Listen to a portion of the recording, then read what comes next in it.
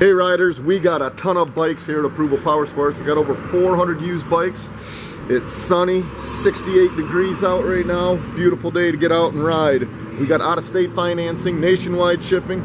This one's a 2006 Harley Ultra Classic. It's clean. It's all stock, loaded up with a bunch of chrome. This thing's hard to find. Cherry and black two-tone pearl paint job looks great in the sun. Um, it's a great color combination, guys. It's just been serviced at the dealership, it's been inspected, all the fluids have been changed. This thing is ready to ride. 2006 Ultra Classic. Guys, keep an eye on our uh, Facebook page, YouTube channel, our website. Call today and you can ride today, approvalpowersports.com.